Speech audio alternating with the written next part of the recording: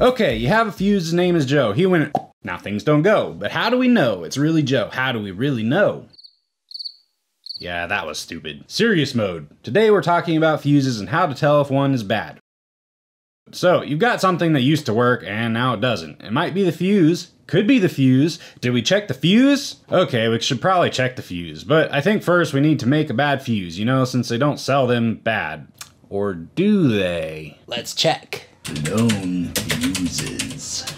Oh, naughty. Nope, just some questionable books. Psst, who reads those? Romantic novels? Psst. Oh, fun fact you can buy human bones on Amazon. Yeah, creepy. Who? Why? Okay, back on script. I guess we're gonna have to make our own bad fuse. Let's blow some stuff up.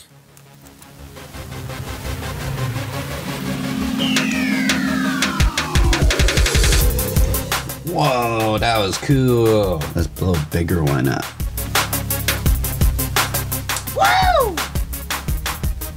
Poor Joe. His sacrifice shall be remembered. Okay, it's a bad fuse. Does it look bad? Hmm.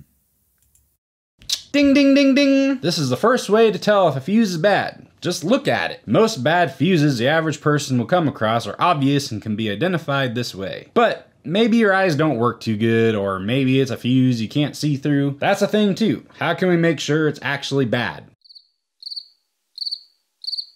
Okay, for those obsessives like me, let's check it with an ohm meter to be absolutely certain. This is a digital multimeter. You can get one for like 10 bucks at the store. Well, you can't get this one for 10 bucks, but any old cheap multimeter will do the trick. Set it to the ohm setting. That's the one that looks like a pirate hat. Arg. If yours doesn't have auto range and you see like times 200 or times 20k or some weird shenanigans like that, just set it to like times one or whatever, cause math.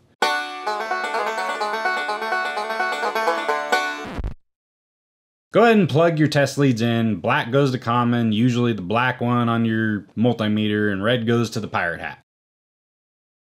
Now stick the leads on each end of the fuse. If it reads zero, it's good. If it reads OL, it's bad.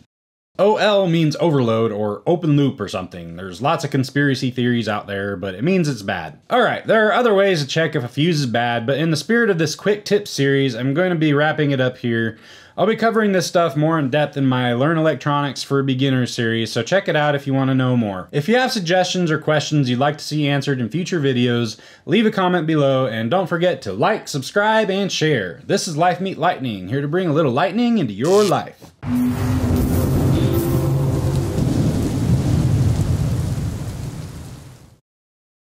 Okay, for those obsessives like me, blah, blah, blah, set it to the ohm setting. That's the one with blah, blah, blah. Mmm, spaghetti. Spaghetti?